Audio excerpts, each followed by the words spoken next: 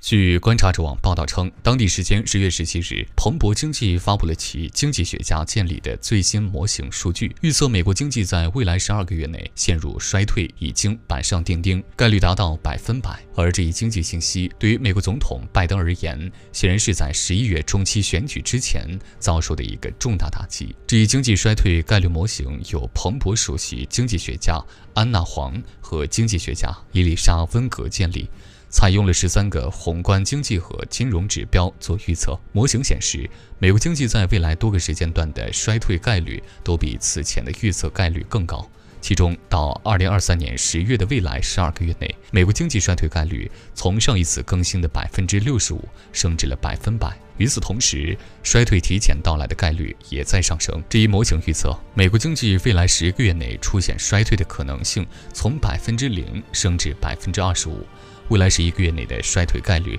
则从百分之三十快速升至百分之七十三。此外，彭博社对四十二位经济学家进行的另一项调查则显示，他们预测美国经济未来十二个月内陷入衰退的概率目前为百分之六十，同样高于一个月前预测的百分之五十。这些预测与美国总统拜登对于经济的乐观表态形成了鲜明对比。在拜登看来，他重点关注就业增长是否强劲。正在忙于中期选举竞选活动的他。试图告诉美国人，美国经济在其政府的领导之下依旧稳定。不过，彭博社认为，如今这些预测对拜登而言不是好消息，因为经济仍是选民最关心的问题。当地时间十月十一日，拜登上任以来首次接受美国有线电视新闻网的独家专访。他在白宫告诉 C N 主播杰克塔珀，自己不认为美国经济会出现衰退。即便出现衰退，也将会非常轻微。在塔珀追问之下，拜登随后又表示，衰退是有可能的，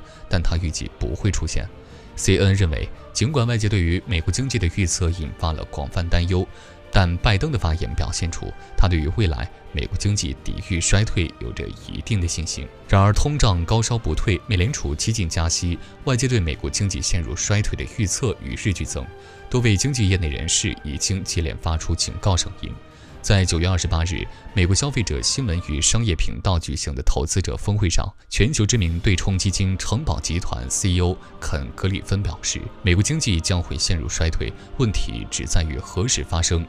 这一时间点最早可能会是明年。尽管他认为美国应继续实行货币紧缩政策，但也坦诚美联储在抑制通胀方面所能做的实在有限。当地时间十月十日，摩根大通 CEO 杰米·戴蒙也警告称。欧洲经济已陷入衰退，而非常非常严重的不利因素可能会让美国和全球经济在明年年中陷入衰退，也就是六个月到九个月之后。美国银行预测认为，美联储继续大举加息以抑制通胀的举措，将导致美国经济从明年初开始每月失去数万个工作岗位。路透社此前报道预计，在今年剩下的两次货币政策会议上，美联储还可能将加息1.25个百分点。这意味着美联储还将再有一次加息七十五个基点的动作。新的预测显示，到今年年底，联邦基金利率将升至百分之四点二五至百分之四点五的区间；到二零二三年年底，将升至百分之四点五至百分之四点七五之间。